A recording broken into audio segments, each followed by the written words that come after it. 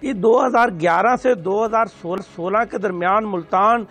شجاباد اور جلال پور پیر والا میں تقریباً چھتیس کے قریب جو ہے محکمہ پبلک ہیلتھ کی ترقیاتی سکیمیں جو ہیں وہ شروع کی گئی تھی، جس کا حجم جو ہے وہ اربوں روپے کا ہے۔ اور اس میں جو زر ضمانت تھا، جو ناقابل واپسی تھا، ٹھیکیداروں نے پری کوالیفکیشن کا جو مرلہ تھا، اس میں وہ جمع کروایا۔ وہ فی سکیم کے حساب سے پانچ ہزار تھا۔ تو جو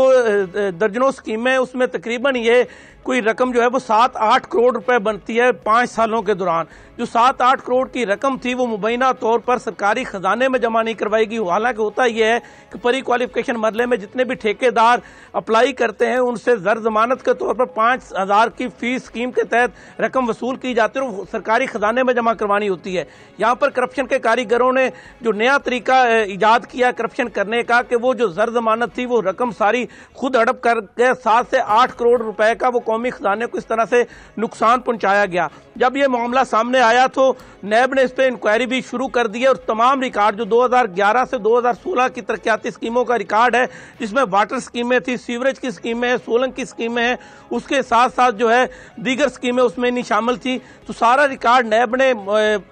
لیکن جو پبلک ہیلتھ انجینئرنگ کے حکام ہیں، ان کی طرف سے مطلوبہ ریکارڈ ابھی تک فرام نہیں کیا گیا۔ اس میں سے کچھ ریکارڈ، تین سے چار سکیموں کا ریکارڈ جو ہے، وہ تو فرام کر دیا گیا، لیکن تمام سکیمیں جو دو ہزار گیارہ سے دو ہزار سولہ کے دوران ہوئی ایکسین جو شیخ منیر تھے، ان کے دور میں یہ ساری کرپشن کی کاریگری جو ہے، وہ سامنے آئی۔